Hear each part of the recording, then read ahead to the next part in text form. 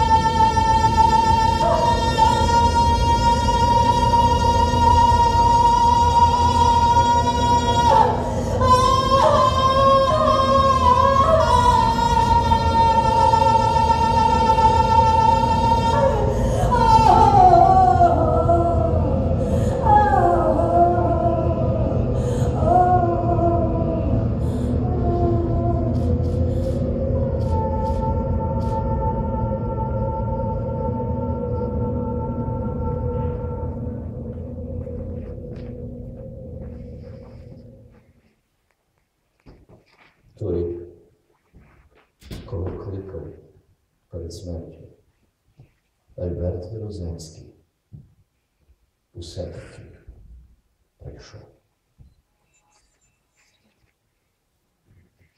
Донині цілком не зрозуміло, чому диявол не виконав угоду.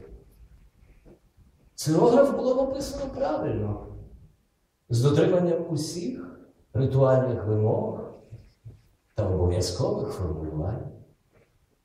Вуглик, якого так розпачливо і намарне кликати зі своєї вогненної купи Мироземський, особисто продиктував йому той текст. І жодної помилки в ньому бути не могло. Чому ж підземна канцелярія, що називається ганебно прокололася і цілком проігнорувала справу ще однієї грішної душі? Невже навіть і 20 років? Всього тільки 20 років. Здалися комусь із її зверхників надто високою винагородою за настільки нікчемний товар. Залишається припускати щось категорично інше, несумісне. Скажімо, раптове втручання протилежної сили. Чоловік, що самотньо і нестерпно болісно конає у вогняному стовпі, безліч разів, ніби молитву, повторює. Ну де ти? Де ти? Де? Але хто обіцяв йому аж 20 років життя, цілих 20 років світанків, роси, річкової води, цілих 20 травнів, не хоче його почути.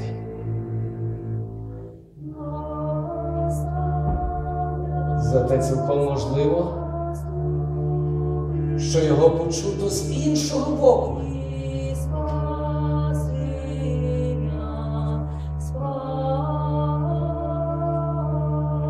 На якусь невимовно коротку мить Альберт Вероземський опиняється поруч з усіма на світі страшеними вогнем єретиками, содомітами, чарівницями, євреями і збунтованими козаками.